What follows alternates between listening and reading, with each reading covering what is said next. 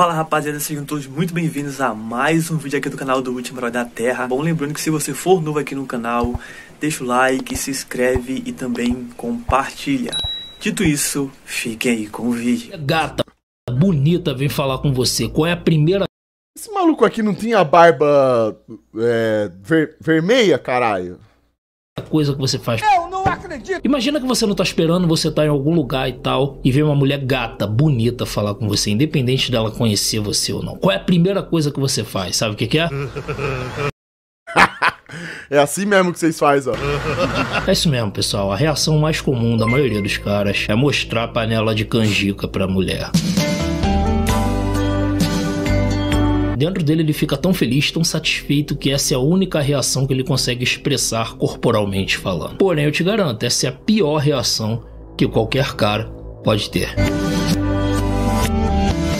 Quer saber mais sobre esse assunto? Essa parada te interessa? Então acompanhe esse vídeo porque hoje você vai aprender uma lição para nunca mais esquecer. Bem, em primeiro lugar, eu faço esse vídeo aqui por dois motivos. O primeiro motivo é que tem muita gente que acha que eu fico fazendo vídeo aqui falando: ah, o Oliver não gosta de mulher e tal, ele não quer mais que a juventude hoje em dia conheça mulher que namore. Parece até que ele tá fazendo vídeo aí insti- instigando a juventude a não se conhecer, instigando os homens a criarem guerrinhas com as mulheres. Eu não, cara. Quero mais que você conheça, assim, uma namoradinha, que você saiba o que é uma vida de duas pessoas juntas, até pra você coletar alguma coisa aí pra saber o que que seria futuramente ter uma vida de casados, não é? Eu, como um cara cristão, quero que os casamentos duradouros, os casamentos eternos de outrora, voltem a acontecer. Esse é o meu desejo. Então, tirem isso da cabeça que eu quero criar guerrinhas entre homens e mulheres. E o segundo motivo é que mais uma vez eu preciso deixar claro pra vocês que eu não ensino ninguém a pegar mulher. Sabe por que eu não ensino ninguém a pegar mulher? Primeiro que eu não sou nenhum Dom Juan. A única coisa que eu faço é dar dicas para te ajudar a não cometer erros. É uma coisa muito diferente de ensinar a pegar mulher. Bem, vamos lá. Um dos erros mais comuns que a rapaziada, a maioria dos homens Mano, esse cara tem uma dobra no queixo tá me dando agonia. Ó, vai tomar no meio dos seus cu, mano. Vocês ficam reparando sempre no detalhe. Eu nem tinha reparado essa merda. Agora que você falou que eu vi. Eu tô que o cara tá falando. Caralho. Vocês tudo, vocês são tudo igual, né? Vocês não tá nem aí pro que estão falando. Você tá prestando atenção no... Ai, deixa eu prestar atenção pra ver se ele tem a, o, o queixo. Ah, ele tem uma dobrinha ali. Ai, olha o, o lado do nariz dele ali. Tem a, a- o, a- o bigode. Ai, uma covinha ali do lado. Ai, nossa, tá me dando gatilho. Vou tomar o meu mucilon. Ah, é a merda. Caralho, mano. Vocês ficam reparando nas paradas. Não faz sentido isso, velho. Mas isso não é só no Brasil, não, é no mundo inteiro. Um erro muito comum é quando uma mulher vem falar com ele, ou então quando ele vai falar com a mulher, que a mulher responde, que a mulher tá ali conversando e tal. Ou então, às vezes, não precisa nem ter uma conversa, só da mulher olhar pro cara ou chegar e falar com ele, a primeira coisa que ele faz é mostrar a ditadura pra mulher. Dá aquele sorrisão de cavalo, mostra logo que ficou feliz, que ficou surpreso. Vou mostrar logo meu sorrisão aqui com um feijão bem grandão no dente. Tu acha que tá certo isso? Tu acha que isso daí tá agradando? Tu acha que essa é a melhor reação que você pode ter? Se você tá achando isso, eu tenho certeza que até o final do vídeo a sua mentalidade vai mudar muito. E só pra vocês saberem, Cheguei agora e já tá xingando os inscritos. Sempre, né, Tiagão? E você será o próximo a ser xingado, hein?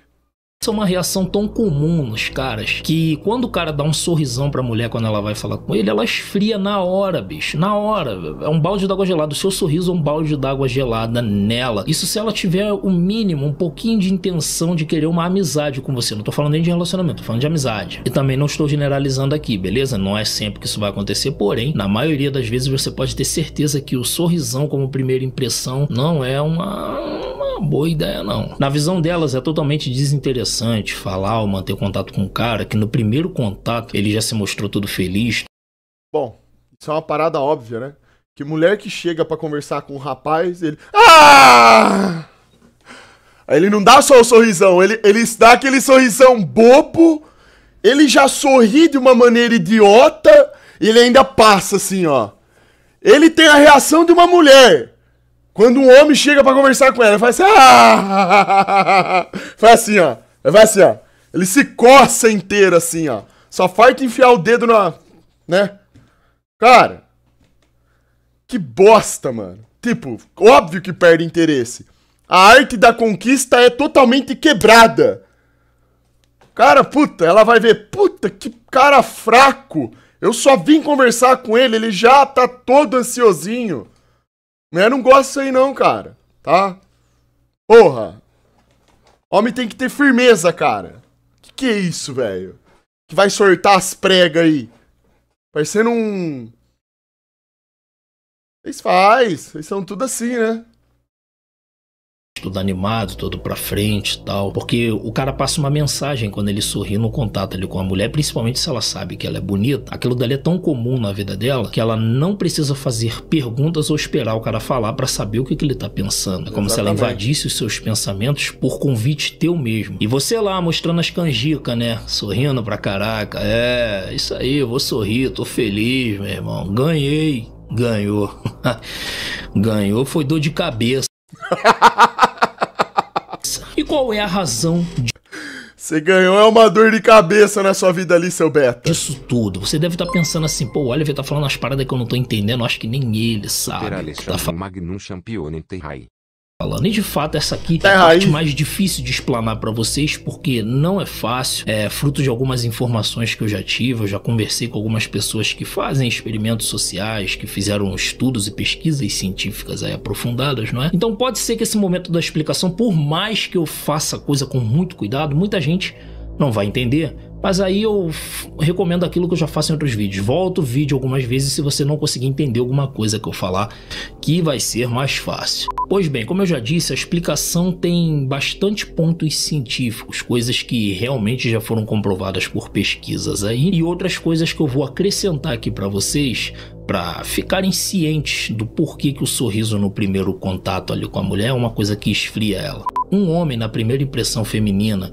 quando ele já chega sorrindo, então quando ela é recebida por um sorrisão, não é? Aquela panela de canjica pra a cara dela. Na visão e no sentimento feminino, ele está ah. demonstrando fraqueza, ele está demonstrando ser um cara que é inc...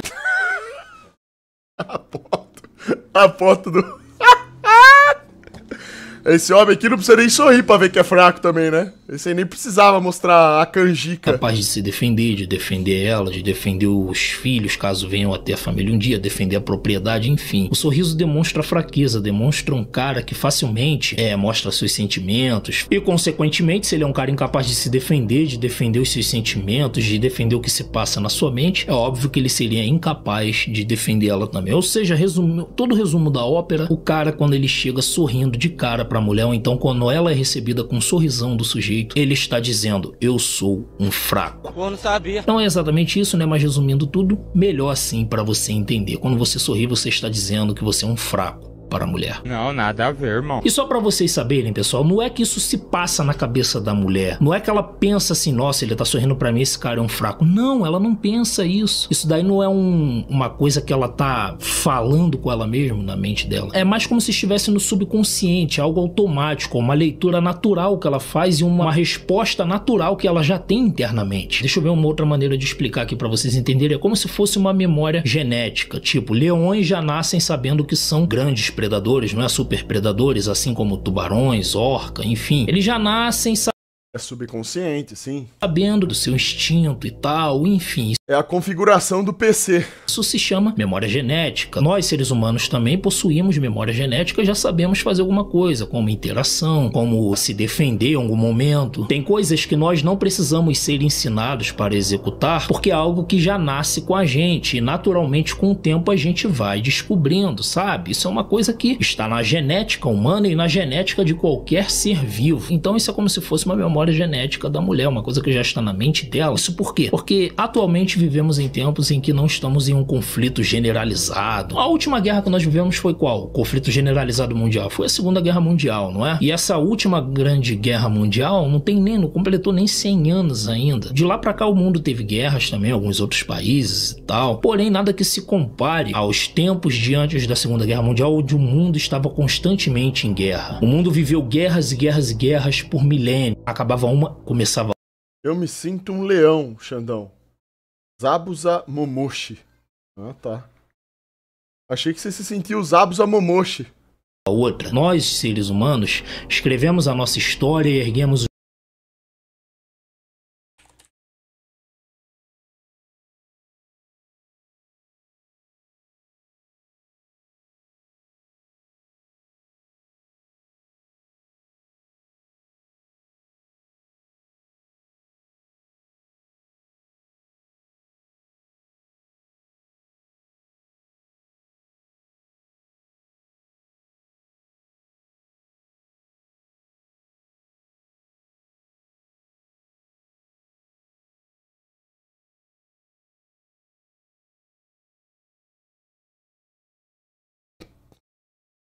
os nossos impérios através Nossa, que molecada patética. da guerra, do sangue, da força. Tem coisas que já estão na natureza humana e uma das naturezas que está incrustada na mente da mulher, no subconsciente dela, é a busca por homens mais fortes, porque no passado, por milênios, a mentalidade da mulher foi estruturada para acreditar que ela precisa de um cara forte para proteger ela, proteger os futuros filhos, a propriedade, enfim. Isso é uma coisa que a mulher procura naturalmente, os homens com as costas mais largas, mais altos. Muitas mulheres dizem que se atraem por um cara que tem ombros largos, mas ela nem sabe por quê. É uma coisa que está nela, mas ela não sabe de onde veio. Isso é algo que ela herdou de muito tempo atrás. E as mulheres desses tempos A memória genética. os passados buscavam justamente isso, os homens que não sorriam, os homens que eram sérios, austeros, porque esses passavam segurança, não só para eles mesmos, mas para quem estivesse com eles. Em contrapartida, nos tempos antigos, os caras mais sorridentes, mais felizes, esses eram tudo aquilo que as mulheres não queriam, porque não passavam segurança nem para eles mesmos, menos Tá vendo, ó? Essa é a risada que você não pode dar, ó. Foi bom ter colocado a foto desse idiota aqui, ó. Isso aqui que é foda, ó. Vocês não são mulheres, mas vocês olham pra um cara dando risada assim, até vocês falam, puta, que bosta de homem. Entendeu? Agora você imagina pra uma mulher que já tem toda essa bagagem genética, ver um cara dando uma risadinha dessa, ó. Ah, puta, que bosta, cara. Ligado? Ainda para as mulheres que fossem ficar com eles. Aí você vai me dizer, mas hoje não tem mais necessidade disso, não estamos vivendo em guerra e tal. Isso tudo já passou, meu irmão. Tudo bem, passou. Mas há quanto tempo a história da raça humana viveu guerras e conflitos e tal? Foram milênios e milênios contra alguns poucos anos de paz, paz mundial que estamos vivendo. Então não tem como mudar essa parada. Algumas coisas no subconsciente do homem, outras no subconsciente da Ô Xandão, e Magu falando do meu shape novamente. Acabei de descobrir que ele tem 1,72 de altura, por isso ele parece ser fortinho. Eu tenho 1,86. O Magu tem 1,72? Parece uma lombriga. Tem 1,72? Da mulher de uma hora para outra. Isso é uma coisa que pode durar muito tempo ou talvez que nunca vá sair. Então, essa dedução natural das mulheres de que um cara sorridente demonstra fraqueza é algo que provavelmente elas vão carregar para o resto da vida. Em todas as pesquisas que foram feitas, as mulheres não sabiam por que respondiam Isso mesmo. Quanto você pesa, ô Magu?